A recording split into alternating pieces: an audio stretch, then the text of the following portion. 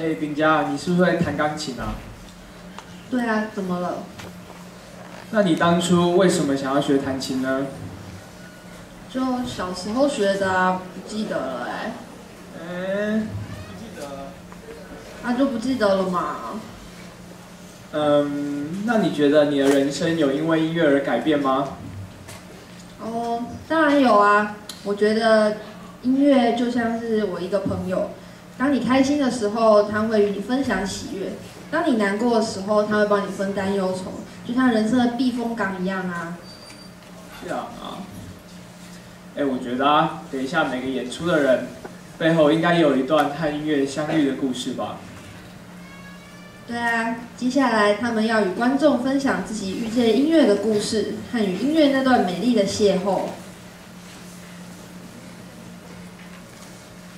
第一个节目是由武庭烨带来的《不一样的月光》。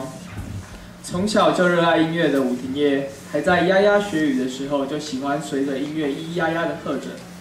小时候玩的玩具琴是启发兴趣的关键。